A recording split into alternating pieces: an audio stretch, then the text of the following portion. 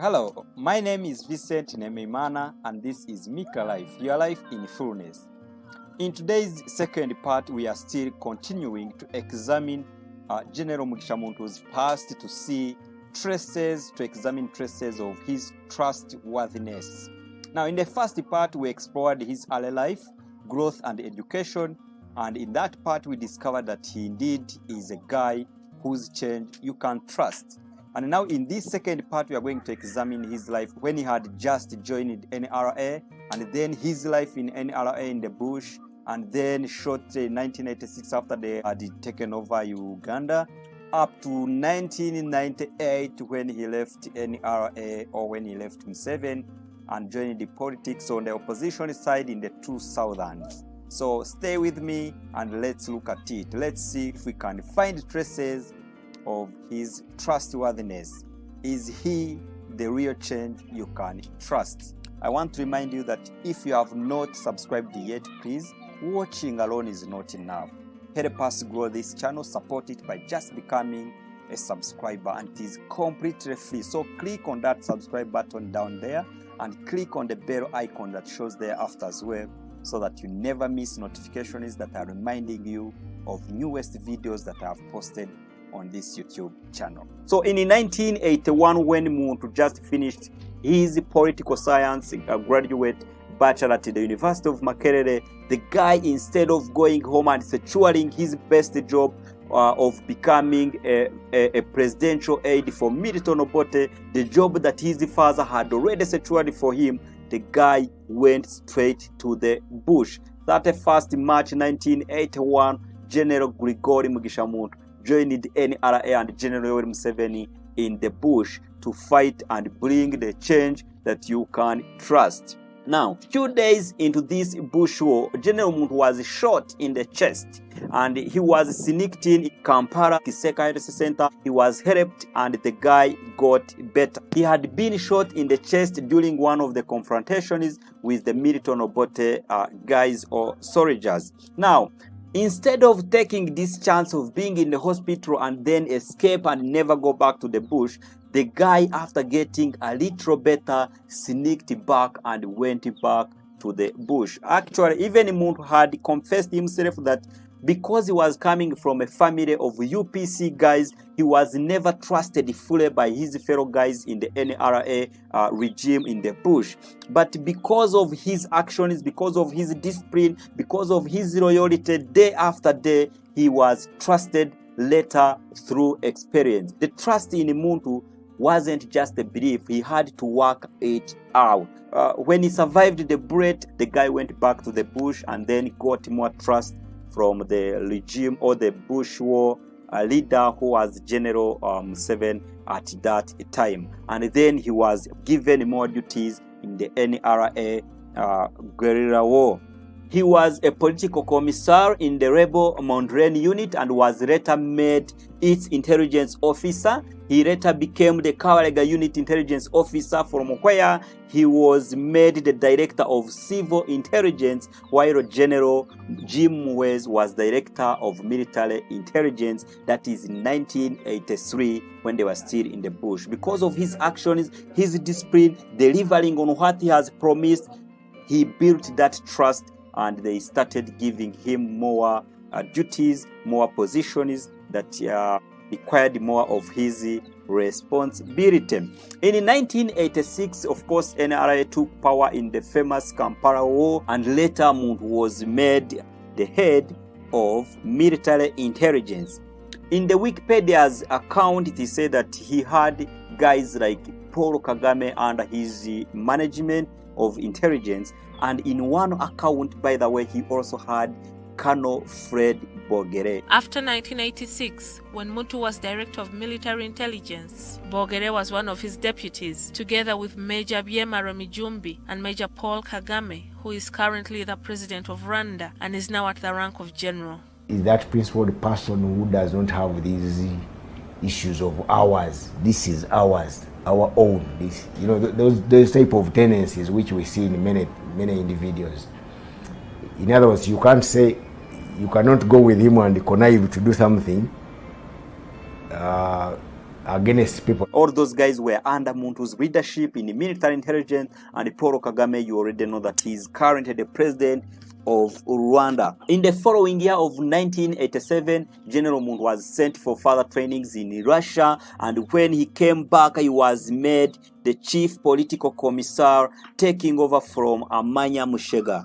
From then, the younger soldier never looked back. In one account, his success is attributed to his loyalty and incorruptible service. From being army commander, the guy was later promoted to the rank of major general and appointed the army commander in 1989 to 1998. Now, when the army was later named UPDF after the 1995 constitution, the Muntu's position, of course, became the chief commander of the UPDF, the biggest rank by then, and he is believed to be the second person to have run that position longest, of course, after General uh, Yoweri Museveni. So we are saying between 1989 to 1998, General Muntu was the chief, was the army commander of UPDF, and under his leadership, so many things happened in the army. According to so many testimonies,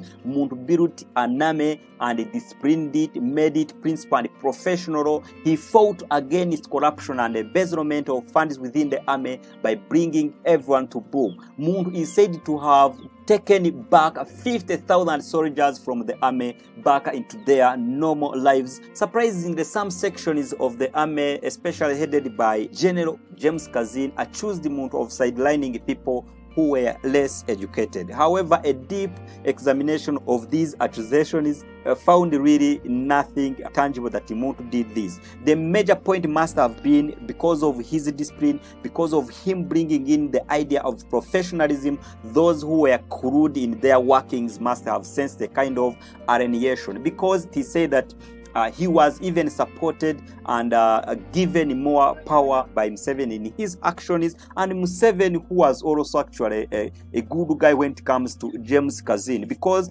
uh, some reports say that despite complaints from people that James Kazini wasn't learned or educated, Museveni kept promoting Kazini and making him the person he died when he was. Additionally, more on the life of James Kazini reveals he was a man who was very corrupt and unfaithful, though he was most commended for being fearless when in battle. Uh, in 2003, James Kazini was actually uh, court-martialed on charges of embezzlement of government funds through creation of ghost workers in the army thousands of ghost workers and that money he would channel it sideways. Maybe it could be because of these different cold dealings that made him collide a lot with general muntu who was so much disciplined and straight to the book. In general all the comments show that muntu was a great leader in the army who was principled who was loyal and never took in any bribe straight to the point and very loyal to the mission Okay, so besides his army position, Muntu was also a member of NRC. Now, NRC was National Resistance Council. This was an interim group of trusted friends from NRA uh, labels or from those who had fought in the bush who first took over the governing of our country when Museveni took over in 1986. Of course, there was no big parliament, there was no nothing. So NRC was like a governing body, the interim governing body of the nation as the country prepared itself to have formal elections and everything there is. So um Mugisha Muntu was part of that NRC, National Resistance Council, the group of 38 soldiers, including some few guys who later allowed to join from UPC and DP to form one body that would govern the country. Now, in 1993, there was a commission called Odoki Commission that was commissioned to start on the idea of developing the 1995 constitution. The Odoki Commission did the consultations that brought in the ideas that would inform or guide the Constituent Assembly of 1994 to 1995, of course, that was forming the 1995 Constitution on what to put in the Constitution. Now, General Muntu, who was part of these meetings or who was part of the assembly of the 1994 to 1995, forming the constitution, did something. Before I can dig into this thing, I would like to remind you that when Museveni took over power in 1986, they banned or they stopped the multi party system. The idea was there was no need of having different sections of opposition, of ruling, yet the country just needed to be rebuilt. So Museveni convinced these guys that under any NRC, they should first rebuild the nation and then they could think about the marriage system thing later, maybe after four years. However, after four years, the guy said he needed more time to stabilize the nation which led to so many other times, so many other times until the 1995 constitution, which constitution also consolidated more power and gave it to the president. Now it is said that during the making of this constitution, Muntu raised the voice and opposed what Museveni was doing and where he was taking the nation and demanded that people be given more power and the restrictions on multi system be relieved or be reduced. In words of one of the political authors in Uganda, James Katorobo, Mugisha Muntu is the only NRC guy who opposed what the Odoki Commission had recommended or had presented for the constitution of the 1995. These words are from that document exactly. However, in what has been described as a rare democratic sentiment from a military source in Africa, the commander of the National Resistance Army, Major General Mugisha Muntu, chastised the members of the NRC for fearing to face the electorate and called for a renewed mandate from the people prior to the adoption of the 1995 constitution. Are you seeing? So Muntu's stand in 1994 was even or is described as a rare democratic sentiment from a military source in Africa. In 1995, he's the only guy from NRC who stood up and said, Guys, guys, guys, we need the mandate, we need the approval from people on these things. We need them to have power, not ourselves. So you can see him. And uh, in my writings, actually, I say, in light of how Mugisha Muntu presented himself during the Constitutional Assembly, should we take this as his first official and public expression of his indignance to Museveni's policies and where he was taking the country. Indeed, in Daily Monitor, it is recognized that his fallout with Museveni started out in uh, around 1995 after his stint as a member of the Constituent Assembly, which enacted the 1995 Constitution. They disagreed on the military and political approach that saw his removal from military command and appointment as a minister, which the position which he politely turned down. Yes, so um, in Mugisha's life, you can see that from 1995, when he made those remarks during the formulation of 1995 Constitution, three years after that, Mugisha Muntu was removed from his power of the army chief and given a ministerial position as the Minister of Defense. The position he turned down.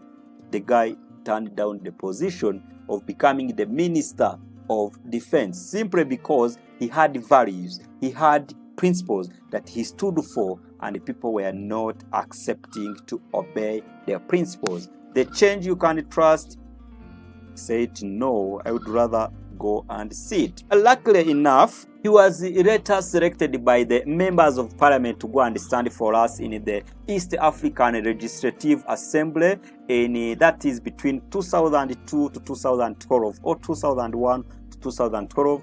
Later, to pronounce himself very clearly, the guy joined opposition. We are going to cover this in the part 3 Mugisha Muntu leaves NRA and joins opposition. So if you were to ask me, is he the guy whose change you can trust? My answer is a very big yes from this uh, examination. Number one, he joined NRA not because of any other thing, but because of the values and truth he stood for. Number two, when he reached there, while many were suspicious of his uh, trustworthy. The guy worked out for his trust, including going back even after he was shot in the chest. Number three, when they took over power in 1986, he was an exceptional army leader. During his reign as the army chief, he, he stabilized the army, disciplined it, and institutionalized it. Another point and a big one is that in 1995, during the uh, Constituent Assembly and the making of the 1995 Constitution, General Mugisha Muntu stood on the size on the side of people and wanted the Constitution to give much power to people and not to the presidents, something that costed him his position as the army chief. Lastly, when the position of army chief was taken away from him and given a position of becoming a minister for defense, General Mugisha Muntu rejected and sacrificed those pressures for the values he stood for. This is very important that he had to forego all those pressures, all those opportunities just to defend the trust, to defend the, the principles he stood for. So if you were to ask me, is he the guy whose change you can trust? My answer is a very big yes. In the next part, in the third part, we shall examine his life after leaving NRA in 1998 and joining the opposition in the 2000s, specifically joining FDC, and we see his life there. Can he be trusted based on the decisions, actions, and things he did while in the opposition? For now, ciao ciao. I want to remind you that every video I post here, there is an article and PDF version of it at www.nemvicx.com. So please go there and read this account. Find there the links I have put there for you to re-examine for yourself. If you have not subscribed yet, please, watching alone is not enough. Help us grow this channel, support it by just becoming a subscriber and it is completely free. So click on that subscribe button down there and click on the bell icon that shows there after as well so that you never miss notifications that are reminding you of newest videos that I have posted on this YouTube channel. For now, ciao ciao.